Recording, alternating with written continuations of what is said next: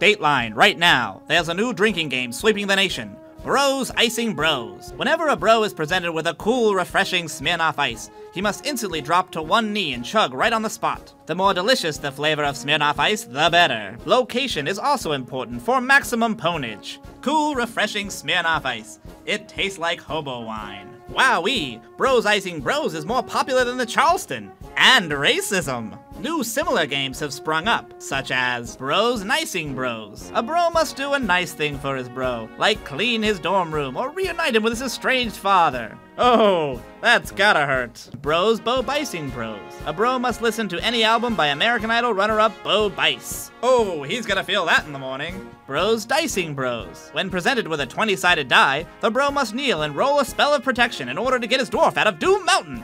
Bros Miami Vicing Bros. A bro must wear a pink shirt underneath a white jacket at all time. Oh, the ladies won't like that. Bros Icelanding Bros. A bro accompanies his bro on a breathtaking tour of the fjords of Iceland.